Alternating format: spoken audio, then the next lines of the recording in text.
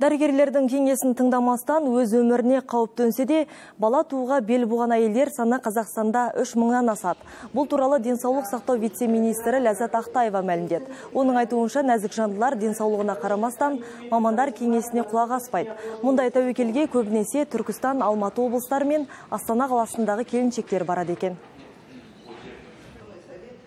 За женщинами с абсолютными противопоказаниями. Қазақстанда ешбір қарсылыққа қарамай бала туамын деген 3029 әйел бар. Олардың жағдайыны біз мұқият болуымыз керек. Министрлік осы жағдайды жіті назарға алғаны жөн.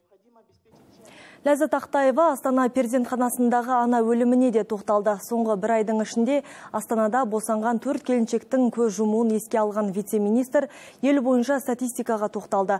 Ресми ақпаратқа сенсек, жыл басынан бері ел перзентханаларында 31 әйел қайтыс болған. Қайғылы жағдай Ақмола, Қарағанды, Қызылорда, Солтүстік, Батыс және Шығыс Қазақстан облыстарында тіркелген. Маман мұны аймақтардағы маман аздығымен түсіндірді. Оның айтуынша елімізде 341 акушер гинеколог, 188 анестезиолог және реаниматолог жетіспеуі қатты сезілуде.